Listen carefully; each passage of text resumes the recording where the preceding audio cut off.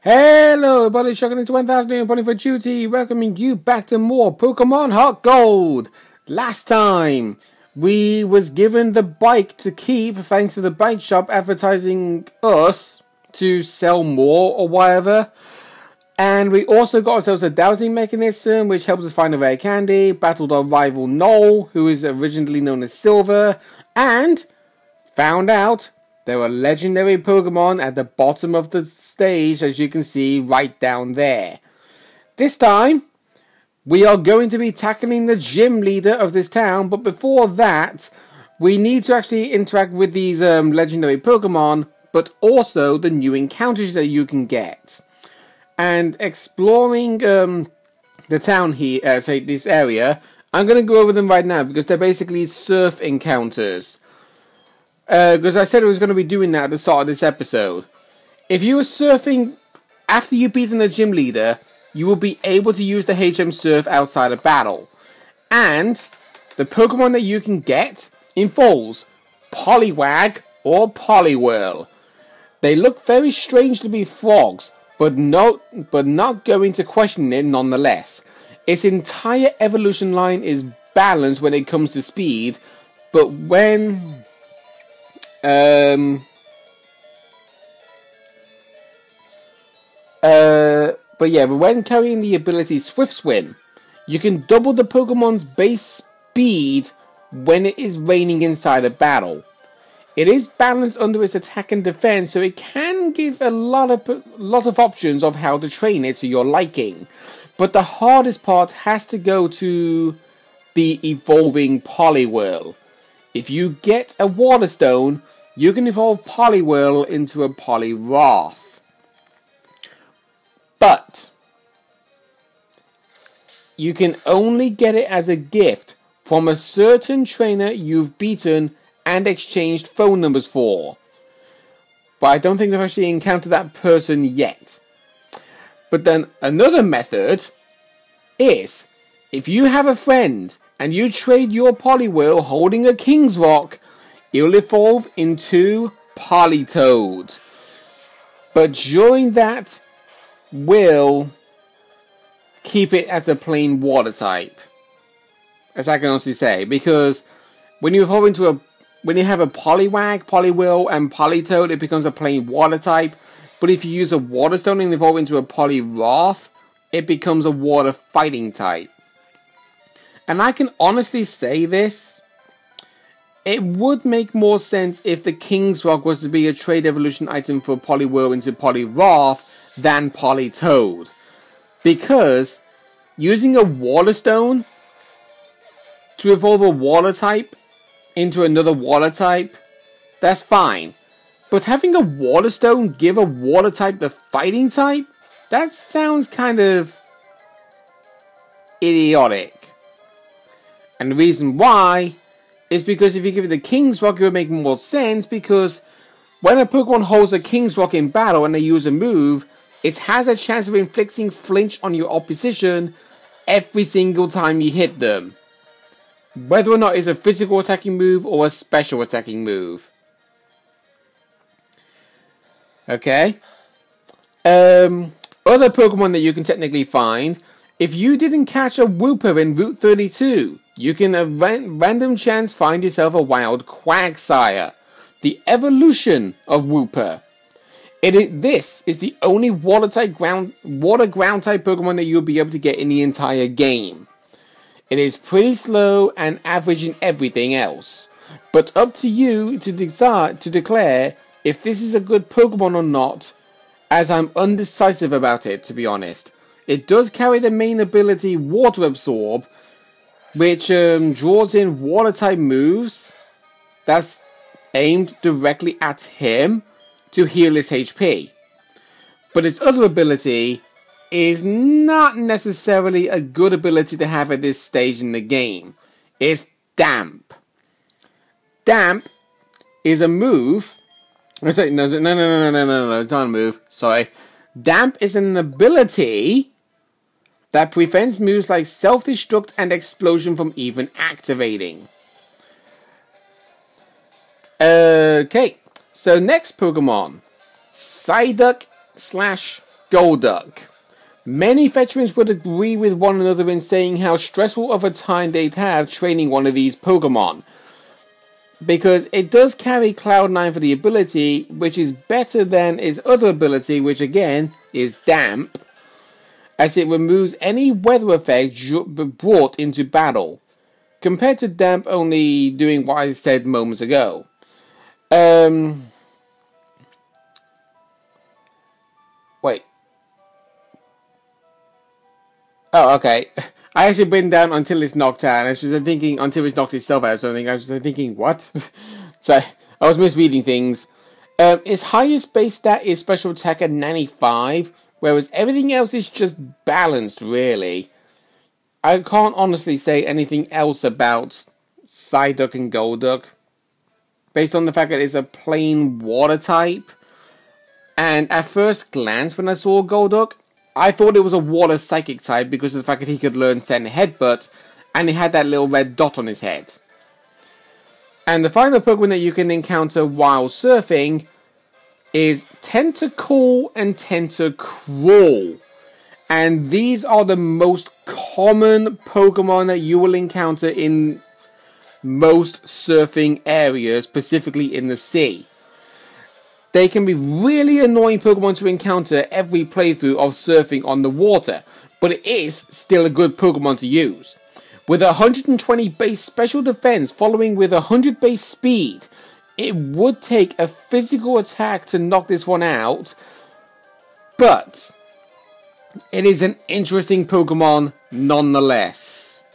Sugar Conroy actually uses Pokemon as a member of his team back in Pokemon Emerald, and I am considering doing it myself. But I might have a change of plan halfway through this LP because I can just basically change my team order of Pokemon Emerald in the future. And yes, plot twist, future events, I will be doing an LP on Pokemon Emerald. Even though I don't originally own Pokemon Emerald, but I do have a friend's Pokemon Emerald where I asked his permission if he was alright with me starting a new profile of test running a new LP team for that game, and he said yes. So he's like giving the impression that I now properly own Pokemon Emerald, but really it is his game. And I can't take that away from him. Reason being is because he is really, really good at Pokemon. There are some occasions where he does lose battles, but he never lets that take him down. He learns from the errors of his ways where he learns a battle and well you kind of get the rest but going back to Tentacool and Tentacruel's um, bio it is a water poison type Pokemon with an amazing ability of Clear Body to prevent stat lowering to be given to this Pokemon. Another main ability it can carry is Liquid Ooze, where if a Pokemon hits him with moves like Absorb, Mega Drain, etc., the Pokemon, instead of healing its HP, depending on how much damage you've done to Tentacool, will actually lose HP which actually sounds really interesting. And that's all the encounters you can get while surfing. And now, for the one encounter that you can get in e- Ecruteak Burnt Tower. And we actually met this Pokemon in a battle against that fire breather that is above us. Koffing. It is a defensive wall with only one weakness being psychic because it carries the main ability known as Levitate, which makes it immune to ground types. As it is a plain poison type Pokemon to say the least, there are many uses for this Pokemon. But we'd be here all day if I started going over it all. But the key factors I will mention, he can learn Toxic by leveling up, which is actually a really good move to teach the majority of poison types.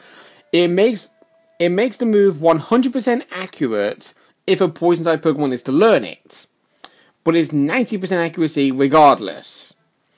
It is a is a move that gives badly poison status condition to all opponents apart from poison types or steel types. What it does is, on the first turn, when the Pokemon's badly poisoned, they take a 16th health of damage at the end of every turn, then an 8th, then a 6th, then a quarter, and so on. It gets worse and worse and worse at the end of every single turn the longer the Pokemon has remained poisoned with that status. And that's all I can say about this Pokemon, really. Did you see it? Suicune raced by, raced by like a blur right in front of my eyes. I have been chasing Suicune for almost ten years, but I have never been this close. I'm all choked up.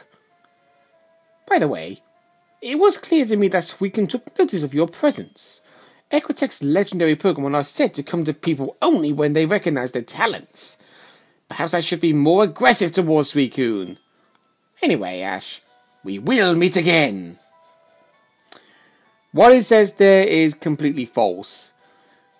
The fact that it's saying to be more aggressive to Suicune, yeah, if you do that, that makes Suicune less likely to want to be with you.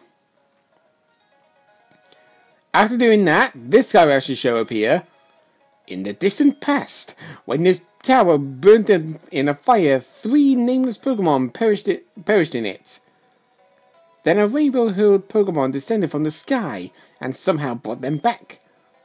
The people were afraid of power, such as the rainbow-hued Pokemon has shown. They tried to control it by force. The nameless Pokemon made no attempt to fight back. Instead, their great sorrow compelled them to leave.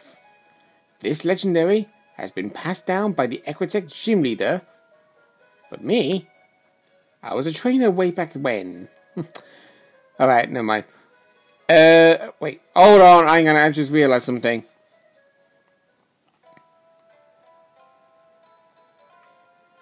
Yeah, okay. I thought you had to talk to um, the gym leader after you've encountered uh, the legendary dogs. But no, he's gone. He's gone. So we're free to move on towards the um, gym now. And of course, before I blinking well forget, I am going to heal up my Pokemon because Lord knows I need to do that.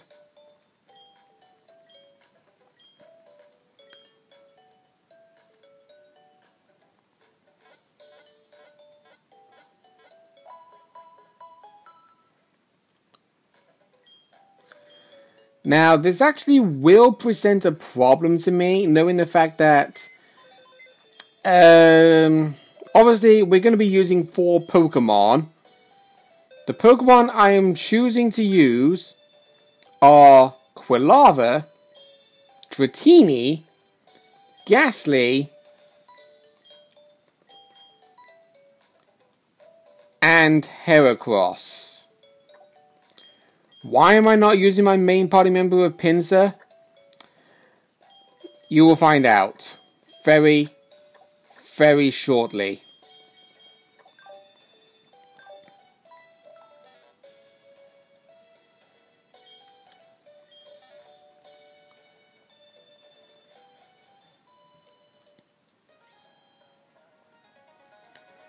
Into the gym we go. And you're probably thinking, this color symbol, every time you see a gym, you see a color symbol, you can easily tell exactly what the gym is going to be. When I first entered this gym, I thought it was a poison type gym because the color scheme on the top is purple. But I was wrong. Yo, champ in the making! The trainers here use ghost type Pokemon as well. A ghost is like a shade or a phantom. It won't do a good use to physical strength alone.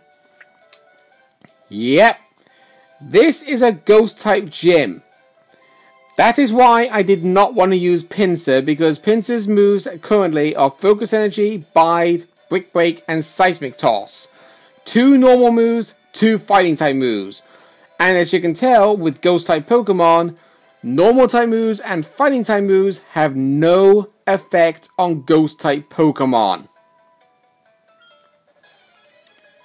And as you can pretty much tell, uh, the only ghost type Pokemon that was introduced uh, back in Generation 1 or in the Kanto region full stop was the Gastly family. And you're probably thinking, have we been given new ghost type Pokemon in Generation 2? The answer is no. We have not. In fact, if I bring up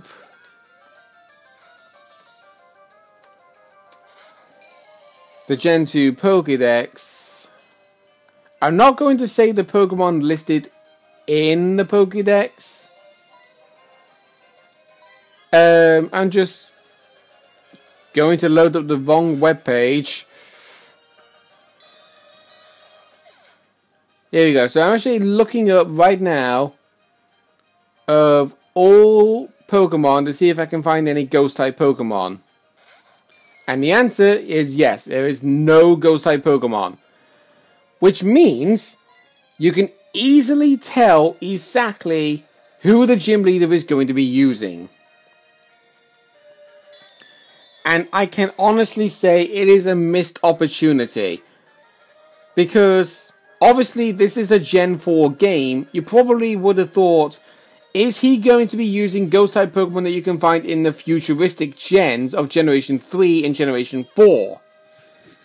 You probably might be thinking yes, but I have to remind you this is a remake of the original Gen 2 game Gold, Silver, and Crystal.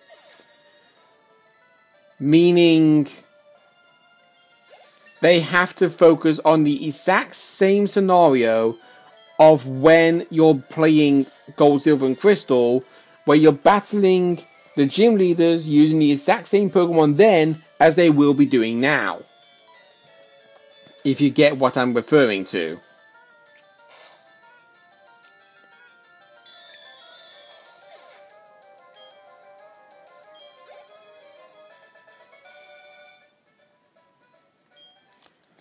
So, yeah, once you've beaten these trainers, they're going to turn the lights off on their candles. So it's basically see the path when you get ambushed and then memorization of where you need to walk.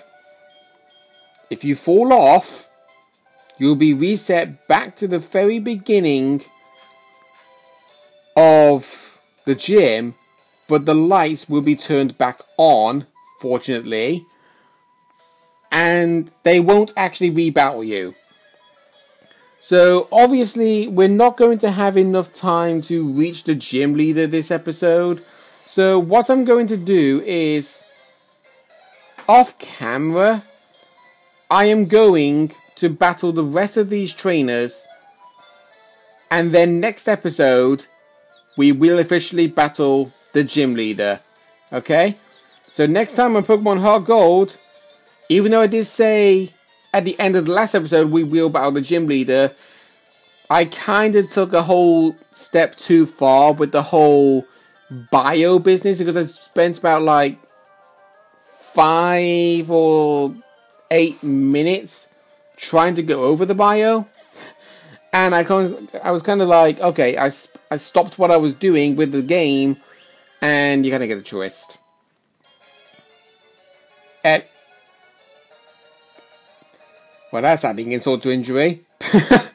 yeah, um, apparently we stopped using Heracross as being a member of our LP team when we got Pinsir one level before we got a chance to learn a really good move.